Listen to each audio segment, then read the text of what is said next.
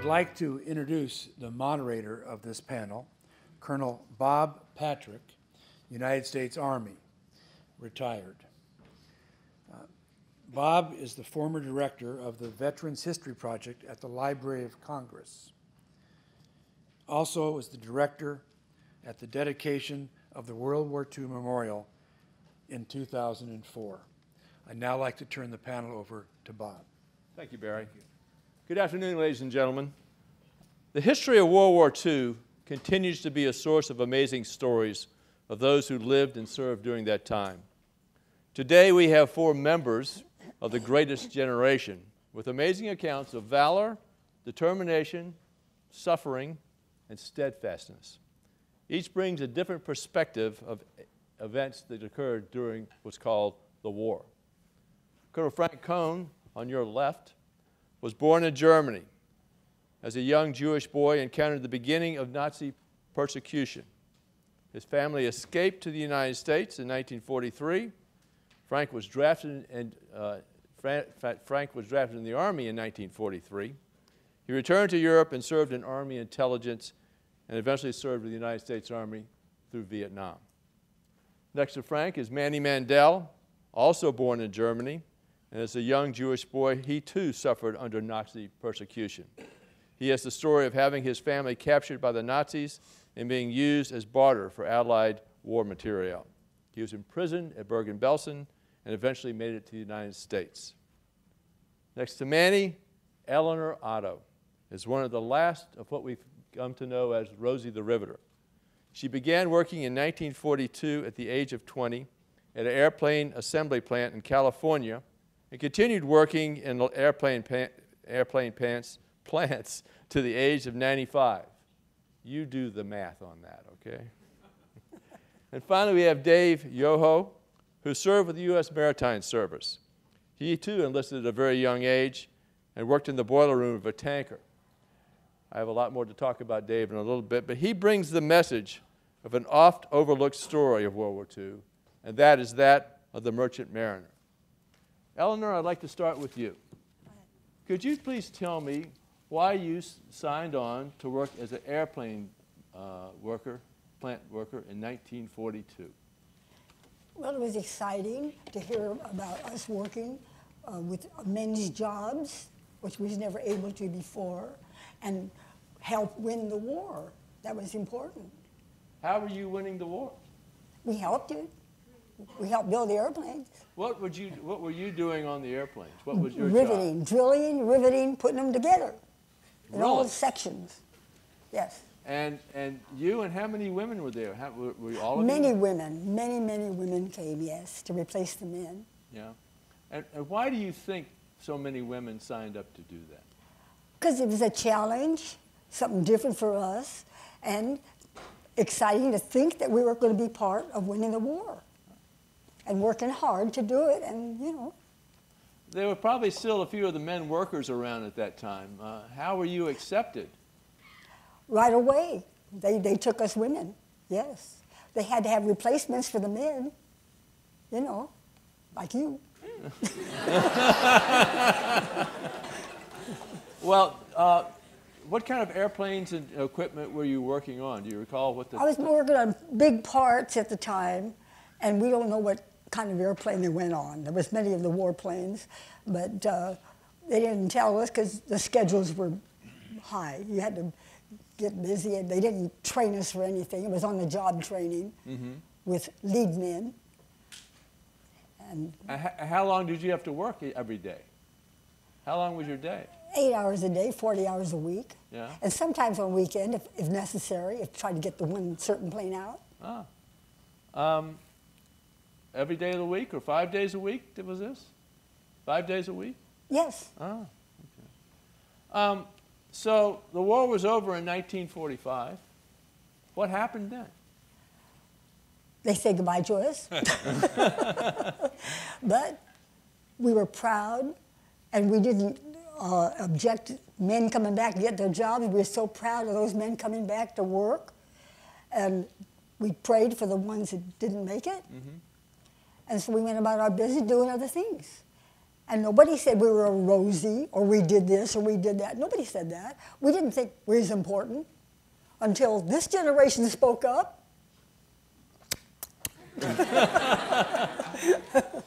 Well, do you see yourself as kind of a pioneer for women? And? That you, see yourself as kind of a pioneer for women and kind of Yes, open doors? and they, they all tell us we paved the way for them. Even the little girl that just drove us over here, I said, you know, she would have been driving that car to drive us around, a a chauffeur. Mm-hmm. She's a chauffeur. We didn't have chauffeurs in those days, women, not women. Um, you went on to work in, in airplane plants after the war, after yes. I did other things between times, but then I went back to work in 1951 uh, at Ryan Aeronautical. They built a Spirit of St. Louis for Lindbergh. And those three guys that did it were still there. And I met them. And that was exciting. So I was there 14 years. And then they stopped building airplanes, so laid us off. And I was off for about 10 months. And then they called us. They said, if you want a job, you better get back to Long Beach because they're hiring, Douglas is hiring for the first time since the war, hiring women. Mm-hmm. how long did you work for Douglas? Um, fif- It would have been 50 years if I'd stayed another six months, but when they start closing the plant down and laying people off, they didn't go by seniority. They went by departments. You doing the math on this? 50 years at Douglas Airport. And when did you retire from Douglas? I never retired. I was laid off. You were laid off.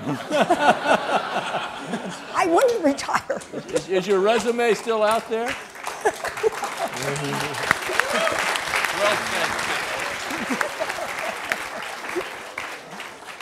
well Well, let me, in, let me let you in on another secret.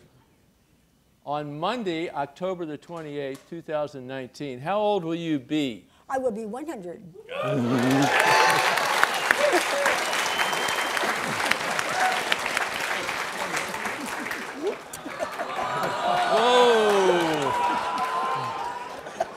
Moving right along. Colonel Frank Cohn. Frank, uh, as I mentioned, would you please talk about your early days in Germany and how you got to America and, and eventually enlisted in the Army? Well, you know, uh, I was born in 1925, and that was uh, right after a very big inflation that wiped out the entire middle class as far as money was concerned. A loaf of bread was a hundred, was over uh, a million marks, uh, and obviously nobody had that kind of money. Anyway, uh, my parents uh, started with a sporting goods store, and by 1933 they had a pretty good going uh, operation. But as Hitler came to power, uh, there were demonstrators in front of the store, stormtroopers with signs, don't buy from Jews. And my father understood right away that this wasn't going to work. So he sold the store, and it, it was a calamity at that point, but it was one of the luckiest things because we had no anchor of staying in Germany. And things got from bad to worse uh, as the years go by. And by 1938, I was 13 at that point, uh, he knew he could not support his family anymore. So he knew also that he had distant relatives in the States, and he would find them and get an affidavit. An affidavit is a document that assures that the person that it's issued to will not become a burden to the state. So the person who's issuing the affidavit has to have enough money. Well, he found his relatives, but they did not have the money because we had inflation at that time in the States, bad inflation, and people just didn't have that type of money to uh, be able to support a whole family. So he had to stay longer, and that again was a catastrophe for him. But it was the luckiest thing in the world because when he stayed longer, uh, we had Gestapo agents come to our door looking, looking for him. So my mother uh, wrote him, uh, if you can, don't come back. and now she turned to me and said, well, should we go? And as a kid of 13, I had a lot of anchors there, Uh, I was on the soccer team in the forward line. I liked my position. Uh, I had just gotten a BMW bicycle, not a motorbike, a bicycle. And uh, I had a stamp collection and I had a lot of friends. But the problem in Germany was such that you knew, even as a 13 year old, you were not wanted there. There were signs in restaurants and such that said Jews not desired, or uh, in a more crude restaurant, Jews forbidden. Anyway, uh, I knew that these people didn't want me, and I knew I was separate from them. And I told my mother, let's go. And she got a visitor's visa for herself and got the consulate to put my name on it. So I was on her passport. And we took off, and we ended in New York uh, on the 30th of October 1938. And that was a very uh, date to remember for us because just 10 days later, November 9th, was the time uh, that there was uh, a pogrom against the Jews in Germany named Crystal Night. It was a place when they uh, broke, and that's why the name Crystal came in. They broke all the glasses that they could on businesses that were still in, in Jewish uh, uh, ownership. Uh, they burned down the synagogues and smashed them, and they arrested every male that they could get their hands on and put them in concentration camps. And that, of course, was a catastrophe for the Jews. But for us, it was our life saving because, in that respect, General, uh, rather, President Roosevelt issued an executive order that anyone in country would not be returned. We who had a visitor's visa were affected by that because they could no longer send us back, and that's how we were saved. You want to talk a little bit about entering the Army in 43 and well, Pearl Harbor came when I was 16, and I remember a kid coming up the street, uh, and it was cool, but it was December. Anyway, uh, he yelled, The Japs just attacked Pearl Harbor. Pearl Harbor, what's Pearl Harbor? Nobody knew what Pearl Harbor was. We had to go to a map and find out, oh, it's Hawaii. Well, of course, 16 years old wasn't going to affect me. Ha! It didn't take long when I realized it was going to affect me. So I was 18 in August of 1943. In September, I was drafted. I was in the Army. Wow. Uh, now, I spoke German, but somehow they never discovered this until I was in a replacement stream as an infantryman going uh, to Europe. And somewhere in England, somebody figured out I spoke German. Now, German speakers uh, were a, a big in big demand at those times, and they had a whole class of German speakers, people similar to me, refugees who uh, had English as their first language or they spoke English at home, and they put them into a six-month course in uh, Fort Ritchie, well, it was Camp Ritchie at the time, in Maryland. Six months, and they became uh, intelligence agents, where they don't wear rank, but U.S., U.S., uh, and nobody knew what rank they had. Anyway, these Ritchie boys were uh, in, in Europe, of course, and here I came as an infantryman, and it took them until I got to Belgium, all the way up to Malmedy, to take me back to Le Vésinet near Paris to give me a two-week course in intelligence. Well, I took, after I finished the first week, they needed me so badly, and they said, you have to go now. And I joined my team, as a full-fledged intelligence agent with one week of training. That was World War II.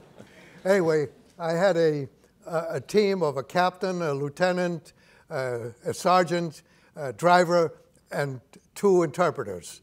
The staff sergeant, uh, my buddy Flo, and me, PFC Frank Cohn. And I served as a PFC all through the war because I was a low man on the totem pole. But I had US, US. I never had any PFC stripes on me, and nobody knew what my rank was. And when you go out, and what, what, what it was, we had dossiers as we got into Germany that had building targets and personality targets.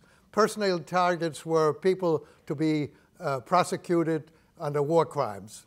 Uh, and building targets was anything that was of use to the occupying force, to include things for uh, occupying. Anyway, that is how we went from one city to the next until we hit Magdeburg, which was at the Elbe. And if you know anything about World War II, the Elbe River was a delineation line uh, dictated by General Eisenhower at the time in order that the Soviet forces and the US forces would not intersect each other. We would stay on the west side of the Elbe, they would stay on the east side, and nobody was to cross. When I hit the Elbe, my captain had orders to cross to show the Russians the occupation zones so that they don't come across too early. They should wait about uh, three, four months before they would come across. Well, we had gotten to uh, Magdeburg uh, along the Autobahn, uh, the major streets in, in Germany, and we knew the war was over because German soldiers came to the Autobahn trying to give up to us, and of course we had to wave them away, but we knew nobody was going to fire at us anymore. The war was over, and we got to, uh, to Magdeburg in that way and he's looking for an interpreter in Russian uh, to help him when he goes across. Couldn't find one. He said, Cohn, you're my interpreter. I'm trying to get out of this thing because I knew I didn't speak any Russian. I knew one word, tovarish, friend. That's it. anyway, we, we got across, and you wouldn't believe the reception we received. They carried us around as if he and I had conquered all of Western Germany. Well, of course, it took me years later to find out why did we get such an exception, such a, such a reception when we arrived. And it was very simple. While we knew the war was over, they had to fight all the way to the Elbe, and they were celebrating their victory, their survival. They had uh, survived the war, and that's why we were received that way. Thank you, Frank.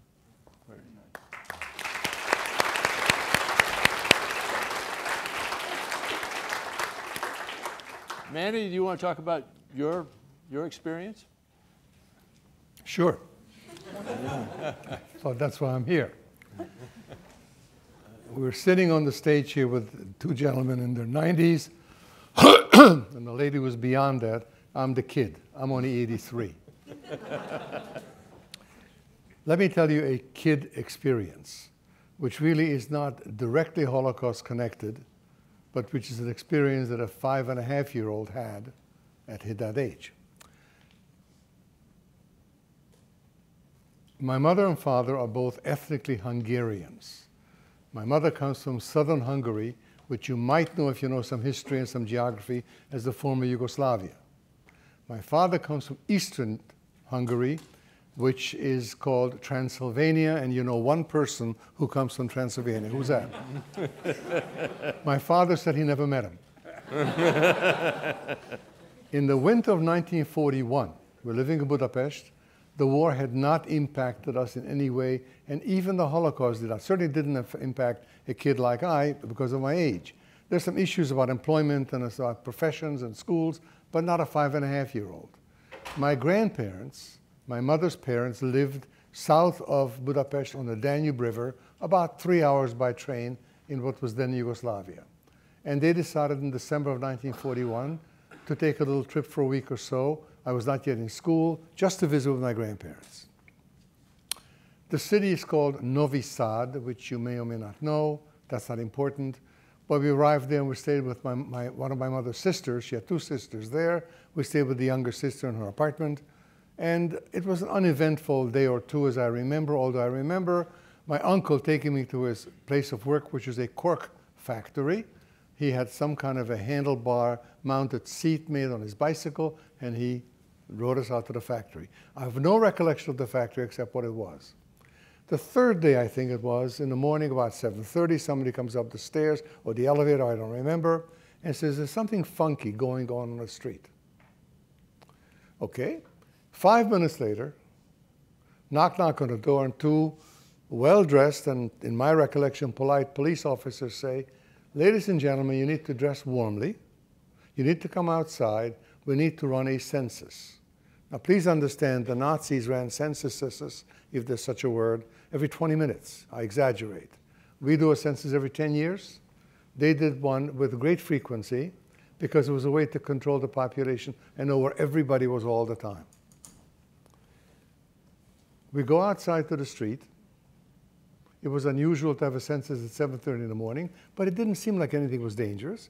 We're told dress warmly. It's winter time. It's not blizzardy, but there's snow on the ground. And we're outside in the street. We're told to line up on a sidewalk and turn left, which we did, start walking. Now, I know that we walked for some time, maybe a couple of hours. Nobody hassled us, we just walked. I walked, I'm five and a half years old. My father carried me, my mother carried me, and we arrived at a place where, believe it or not, I recognized. What there was is there was this eight foot stockade fence, the sidewalk on which we were, and then kind of a main street on our right. And folks were going down the sidewalk towards the open gates of this stockade fence. I recognized the place because I'd been there probably the previous August, a couple months before. In European cities, for those of you who don't know, if you're not on a lake or the ocean, you make beaches out of rivers. And inside this fence, the Danube River flowed three or four hundred yards away. And inside the fence in the summertime, there were wave pools and hot pools and cold pools and thermal pools and restaurants and amusement park. It was a lovely place. I'd been there and I remembered that. Why we're there now, I don't quite know. And we're kind of walking along down towards these open gates. And someplace before we get to the gates, there's a police officer standing on the right and says to my father, Mister, what are you doing here? My father was bewildered, but he said, Well, I'm here visiting with my family. He Said, well, that's fine, that's your business. But what are you doing here? You're not from here. That was correct. He said, If we count you in the census, because he believed there's a census going on, you're going to mess up the numbers. Step aside. my father said to him, Fine, I'm delighted to do that, but would you tell me how you know me? He says, Well, I'm a street police officer a block from where you live in Budapest. I was brought down here for the census, and I've seen you on the streets dozens of times, going this way, going that way. So I knew that you didn't belong here. Okay? We step aside. As we step aside, within minutes, as I remember, I'm five and a half years old, guys. Even for me, it's a long time ago. A staff car comes down the road, an officer gets out. I don't even know what officer was, Hungarian, not German, maybe Yugoslav gets to the bullhorn after he talks to his buddies, and he says, Ladies and gentlemen, the requirements of the census are gone, are done. Please go home. Nobody, and I mean nobody, not a five and a half year, old, but the adults had no idea what happened. We went home, and they even said, Look, there's a school down the street. You're welcome to go there for some coffee and some hot chocolate. My father grabbed the first taxi he could, and we went back to my aunt's house. As we get back to the house, the phone is ringing off the hook. My other aunt, my mother's other sister's calling, saying, Where were you all day? We had some plans. We tell her, she says, That's interesting. Somebody came to my door at 7.30 in the morning, said they have to run a census. They asked me four questions. I offered them a cup of coffee. They said thank you, and they left. As the calls begin to come in, we begin to find out what took place. And that's the important message I want to give you. in the hinterlands of the neighborhood, in the forests around whatnot, some partisan activity took place. Do you know anything about partisan activities? If you don't, these were activities of small groups who, in some way, of their own volition, attempted to, in some way, inflict some harm on the German massive movement. A truck, an assassination, a railroad car, railroad tracks, that kind of stuff. Something like that took place so the leadership of, the, of that community, the command of the community, decided to run a pogrom. What was the pogrom? They got every Jew out of every house they could, and non-Jews as well, marched them down to the stockade fence, turned them in towards the river, which was several hundred yards to the left. Ice was three feet thick, but they had opened that ice up with cannon fire that morning and shot the people into the river. Several hundred people Several hundred people were shot, never to be found, or to be found when the river was thinner down river down towards Belgrade, or when spring came in March or something like that. But what I'm trying to say to you is that this is an experience that a kid recalls. This is not directly Holocaust connected, but it's a recollection of a kid who, under, who remembers precisely what took place, had no idea why this took place, and of course took years for me to begin to understand why do people get marched and shot. But this is a pogrom. And having told you this, now you have a kind of a personal experience through my experience in what a pogrom looked like. Thank you, Manny.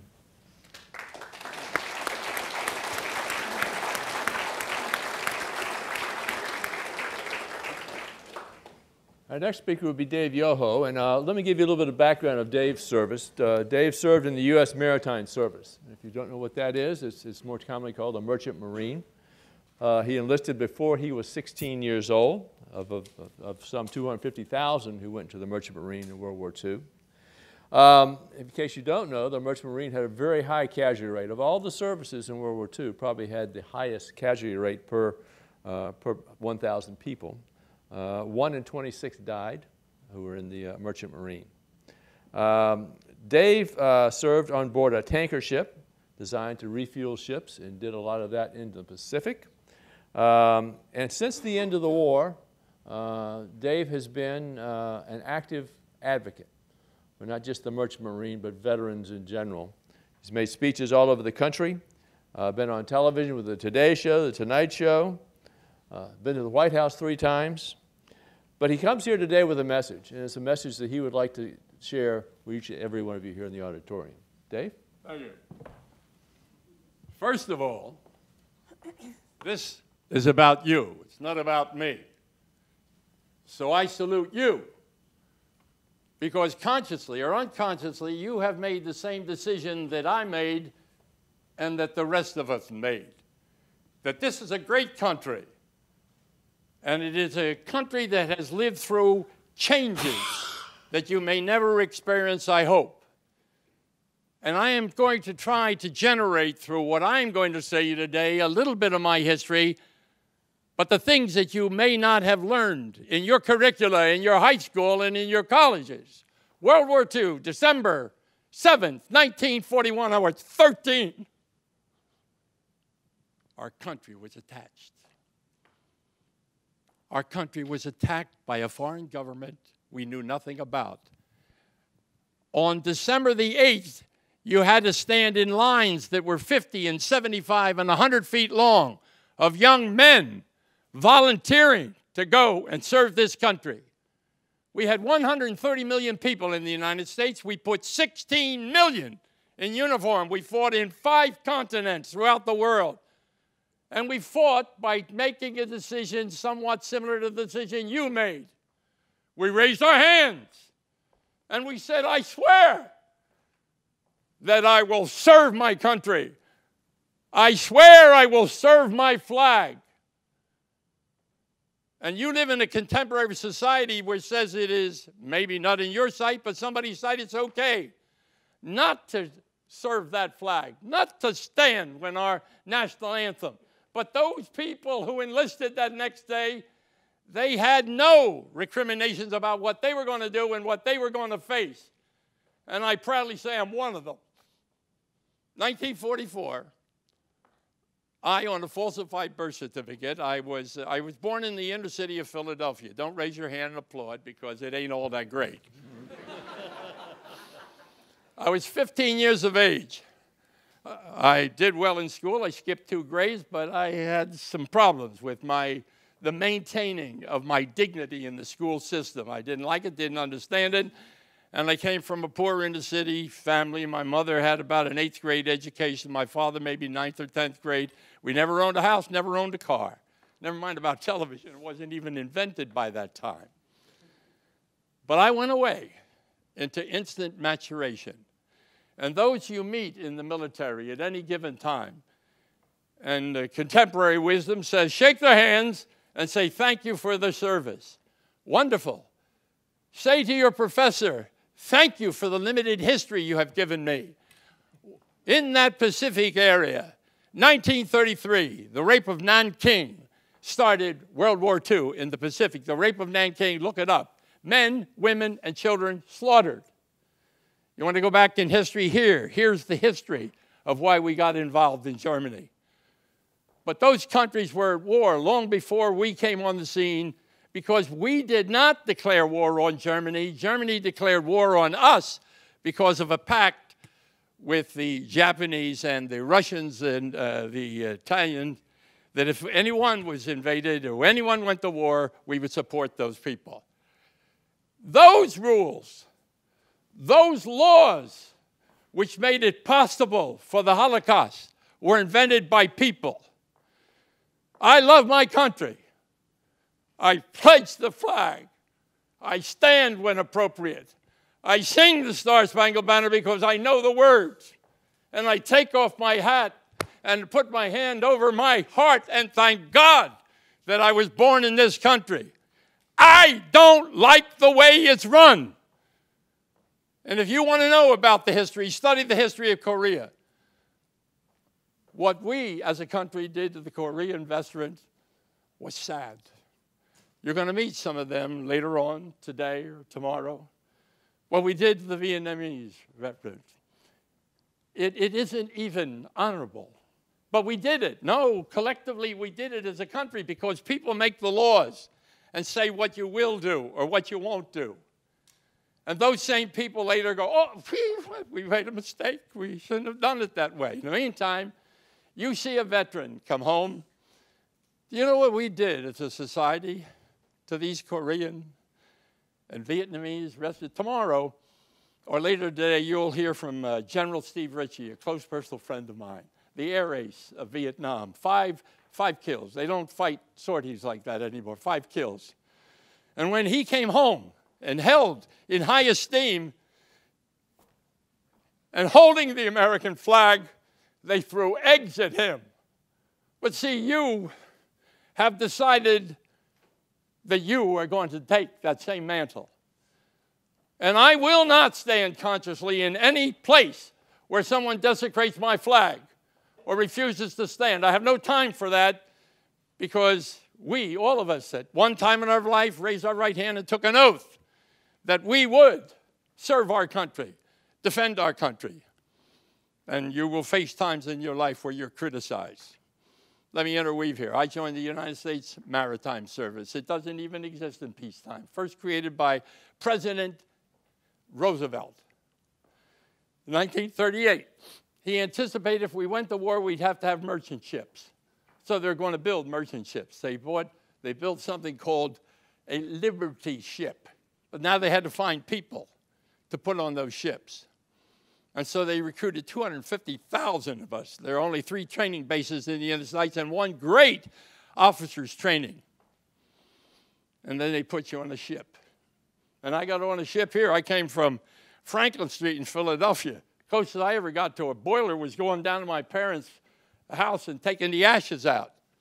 And they're going to put me on a ship, a big expensive ship made by my government, paid for by the taxpayers. I was 16 years of age. How many of you are 16 now? God bless you, we think we know everything. and I was sure of it. I knew a lot about the streets. I was stabbed twice before I was old enough to drive a car.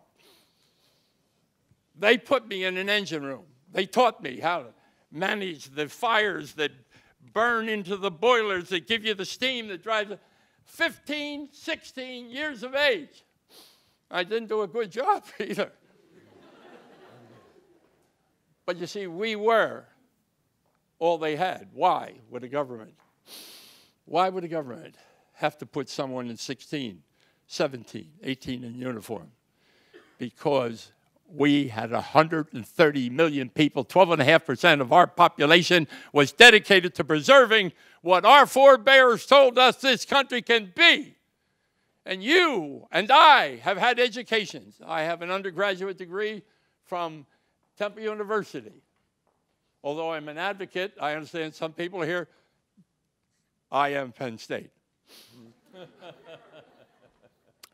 Let me take it a step further. Uh, when I came home, I came home to a country that had a lot of problems. We had a uh, we, had a, what you might call a recession. And the recession came about because all of these millions of veterans were coming home.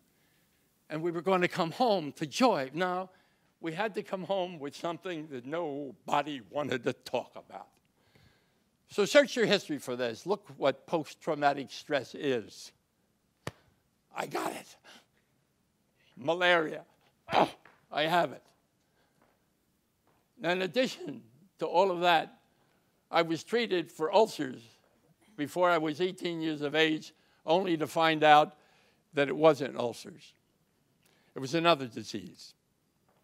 Do I regret any of it? Nah, I don't regret a damn thing. I knew that this country was great.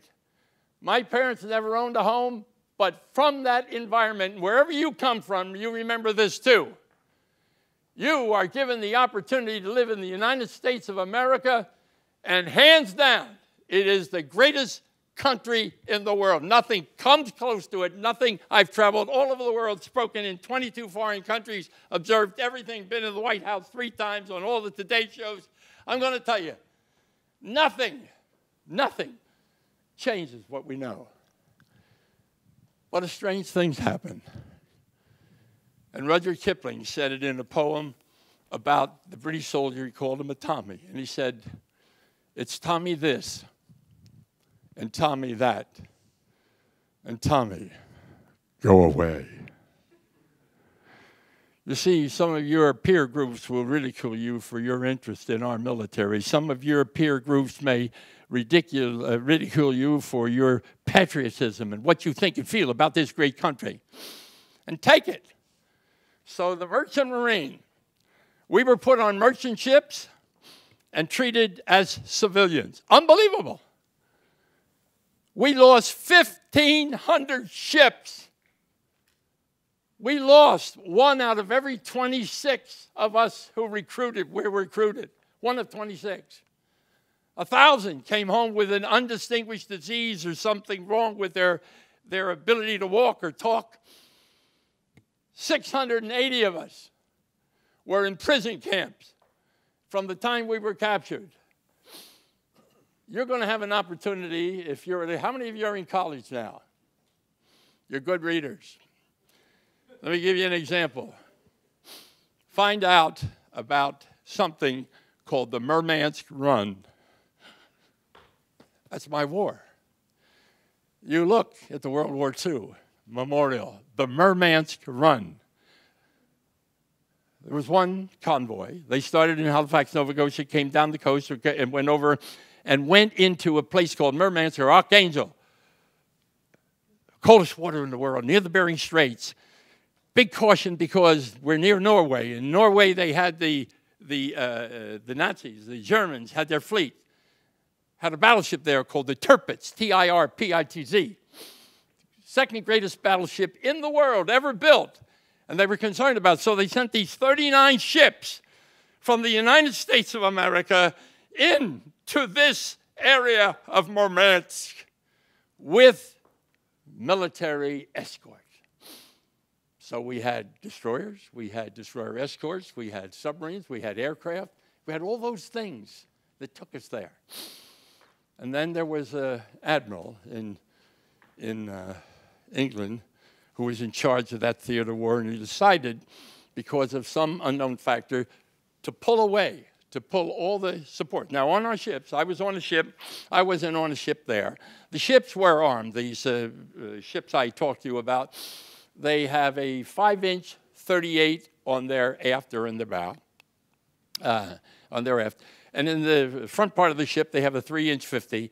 And then beyond that, there are eight 50 caliber machine guns.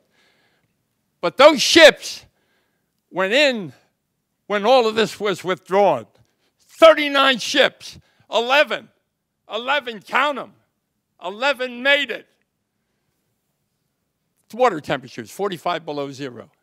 You hit that water, you got four minutes to live before it sets into your bones and your skins and you can't even move, called hypothermia.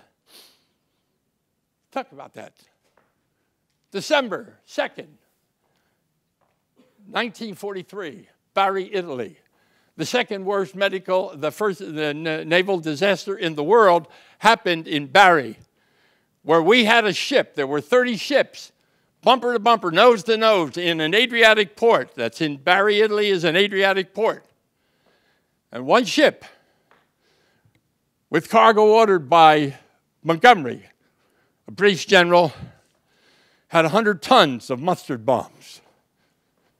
Did you hear it taught at your school level? And when that ship was hit with a bomb, it was disintegrated. So I bring to you your history. And I thank you for the opportunity to be here, and I salute here my contemporaries, my brothers, my sister. Thanks for the kiss, baby.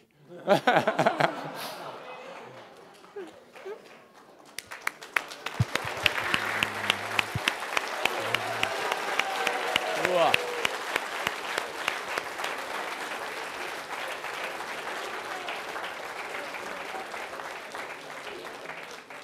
We've got a couple of minutes for questions, only a couple, but the microphones are here in the aisle. If anyone would like to ask a quick, quick question, please go down to the microphone here. I see some movement up there. Go right ahead. Speak up. Good morning, gentlemen. Good morning, ma'am. Uh, Midshipman First Class Falk from UMBC Naval ROTC. Um, sir, this is for uh, David Yoho. What metric do you base your judgment of greatest country? Um, I mean, we're not. I mean, for a lot of reasons, we're no longer first um, as in terms of academics, finance, etc. And there, uh, like you said, there are definitely some issues with how the country is run. So, how do you feel, besides pride, that our country is the greatest? What, what grade of college are you in? I'm sorry. What, what year of college are you in? I'm a senior, sir. Yeah. You asked me three questions in one, but that's okay. It's called binary, but I'll try to answer. I based it on my personal experience. I came out of that city and uh, instant maturation. I lived in a world that you may never understand. At 15, 16 years of age, I did what people a lot older than me did and got in a lot of trouble for some of it. But this country fought on five continents and we lost 440,000 and we gave this country's riches to others and I saw that because I grew up in the Depression. 1928, I was born, 1928, 1929, the stock market uh, ended. 1933, the banks failed. 1935, I lived in a rented house where my father and mother paid $11 a month if the landlord could catch you when you had money in your pocket. And they offered us that house when the man died. It was $850 but you needed $200 as a deposit and $25 for closing. If that's not enough of the story, I got 40 more. But that answers the question. I feel, I think, I believe because I lived through it. And I lived on a remote area of what these gentlemen talk about the Holocaust. And I never want to see it happen again. I hope that answered your question, at least two parts of it. It did, sir. Thank you very much. Thank you very much.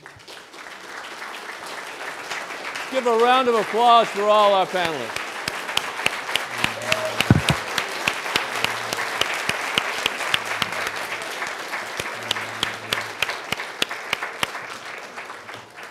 Thank you very much for your attention.